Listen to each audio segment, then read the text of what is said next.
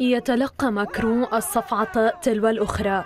نسبة مقاطعة الانتخابات الإقليمية القياسية لربما تكون أحدث هذه الصفعات. أكثر من 68% من الفرنسيين امتنعوا عن التصويت في الدورة الأولى من انتخابات المجالس المحلية في معدل امتناع غير مسبوق. وصفته صحيفة الجارديان البريطانية بالصفعة على وجه ماكرون بعد فشله وحكومته في حشد المؤيدين. زعيمة حزب التجمع الوطني اليميني مارين لوبان سرعان ما علقت على الانخفاض القياسي في إقبال الناخبين ووصفته بأنه كارثة مدنية داعية إلى التصويت بكثافة في الدورة الثانية.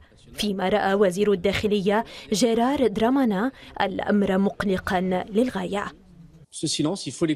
هذا الصمت يجب الإنصات إليه. إذا كان الناخب صامتا فهذا يعني أنه يريد قول شيء ما.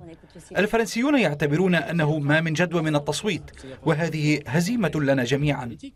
في ظل العزوف الكبير عن التصويت تصدر حزب الجمهوريين أو يمين الوسط نتائج التصويت في معظم الأقاليم الفرنسية. على حساب تراجع واضح لحزب التجمع الوطني أو اليمين المتطرف فيما لم يحقق حزب الجمهورية إلى الأمام بزعامة إيمانويل ماكرون أيا من النتائج المرجوة.